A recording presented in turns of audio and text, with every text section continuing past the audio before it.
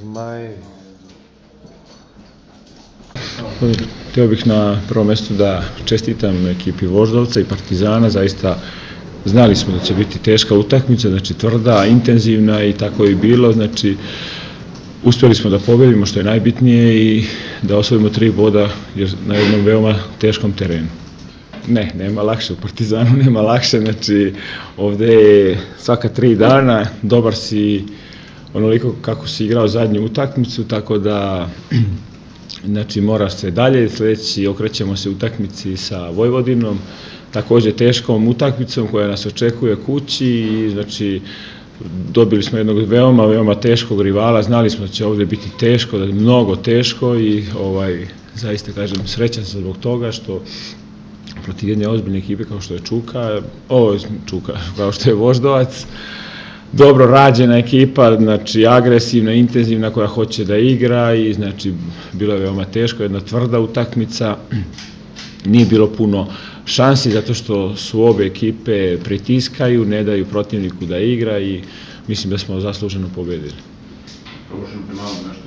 Pa ništa, znači to su sastavni deo futbala, bitno je da da je ekipa e, znala da pročita kakva će biti utakmica, intenzivna i znači e, što kaže igrači su se obukli ovaj kombinezon za radni kombinezon i radili ovaj odradili dobro utakmicu jer zaista je teško igrati veoma protivnik je vrlo blizu pritisak vrši ne dozvoljavati da igra tako da da ovaj je veoma teško ovde igrati i pobediti i ja sam srećan zbog toga. Hvala vam puno. Imam pitanja. Dobro večer svima. Pre svega čestitam Partizanu na zasluženoj pobedi. Mislim da večeras nismo bili dovoljno koncentrisani u nekim detaljima koji su naravno uvek na utekmici važni. Napravili smo neke greške koje naravno da protivnik ovako kvaliteta zna da iskoristi.